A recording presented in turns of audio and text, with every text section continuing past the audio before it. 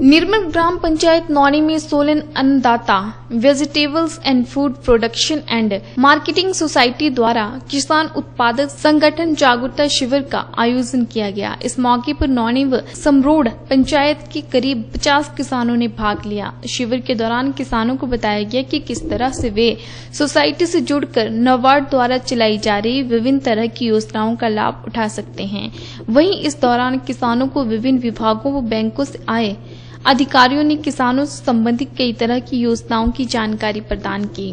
वहीं आईसीएसडब्ल्यू की प्रदेश अध्यक्ष शांति जायसवाल ने बताया कि नवार्ड के तहत the Solan Annadata vegetable and food production and marketing society द्वारा नौनी में एक जागरूकता शिविर का आयोजन किया गया, जिसका मकसद अधिक से अधिक किसानों को इस सोसाइटी से जोड़कर नवार्ड द्वारा दिए जाने वाली विभिन्न योजनाओं से इन किसानों को लाभान्वित करना है।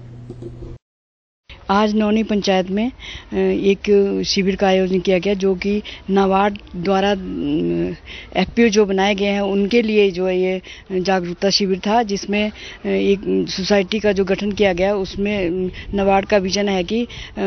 200 से 500 तक के जो हम इसमें सदस्य जोड़े ताकि हमारी सोसाइटी सुचारू रूप से चल सके और जो किसान हैं हमारे, उनको एकजुट होकर एक मंच मिल जाए, जिसमें जो अपने ये खाद बीज का काम कर सके और कैटल फ़ीड का इस तरह का जो खाद काम कर सके, इसलिए उन्हें एकत्रित करके, जैसा कि सरकार का विजन है कि 2022 तक किसानों की जो आय को दोगुना करना है तो इसी सोसाइटियों के माध्यम से जो है ये काम किया जाएगा, जिससे जो किसानों को भी भरपूर लाभ मिलेगा, क्योंकि आजकल जैसे